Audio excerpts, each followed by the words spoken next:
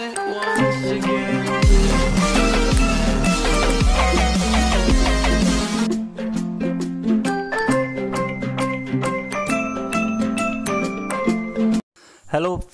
आज की इस वीडियो में हम जानेंगे कि क्या कोई प्राइवेट पर्सन किसी दूसरे व्यक्ति को गिरफ़्तार कर सकता है।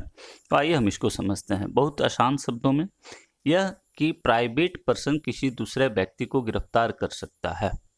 वह दो प्रकार की व्यक्ति, दो प्रकार के व्यक्तियों को गिरफ़्तार कर सकता है। पहला प्रकार वह है जिसमें कोई व्यक्ति उसके उपस्थिति में कोई अजमानतीय तथा संज्ञेय अपराध करता हो। अब अजमानतीय तथा संज्ञेय अपराध क्या है, इसको देखते हैं। अजमानतीय तथा संज्ञेय अपराध से मतलब है, जैसे एक उदाहरण से समझते हैं, जैसे चोरी का अपराध। किसी को जान से मारने की हत्या, किसी की हत्या करने का प्रयास का अपराध। या किसी की हत्या का अपराध। ऐसे अपराध जो है, अजमानतीय तथा संज्ञेय अपराध हैं।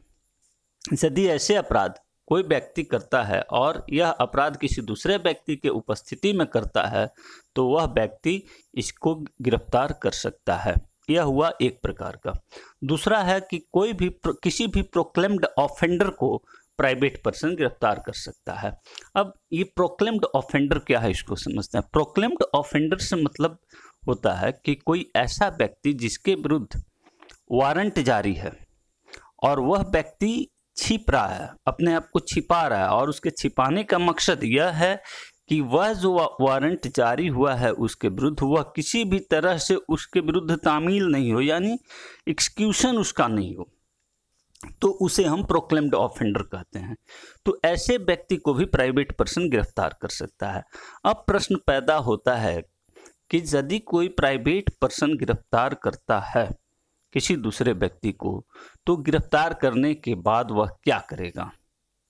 तो बहुत आसान है कि गिरफ़्तार करने के बाद बिना देरी किए वह गिरफ़्तार किए गए व्यक्ति को किसी पुलिस पदाधिकारी के पास या पुलिस पदाधिकारी के अनुपस्थिति में निकटतम थाने में उसको जो है निकटतम थाने में उसको सुपुर्द किया जाएगा।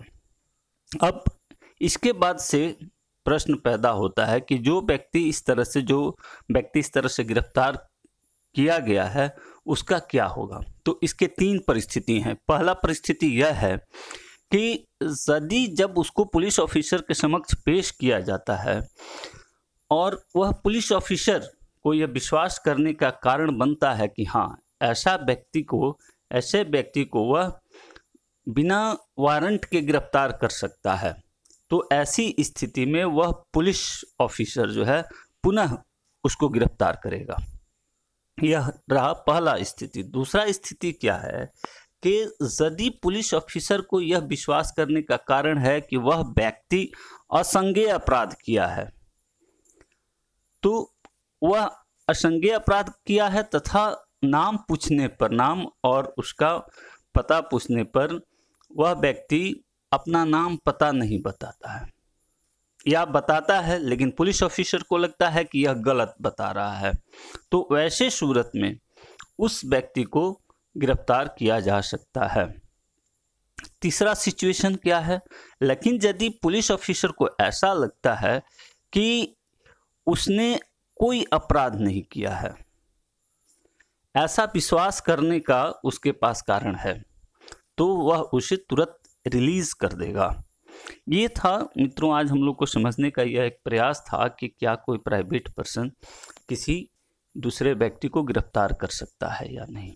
तो इसके संबंध में यदि आपके पास कोई जिज्ञासा हो, कोई प्रश्न हो तो आप इसको पूछने, पूछ सकते हैं कमेंट बॉक्स में लिखकर। धन्यवाद।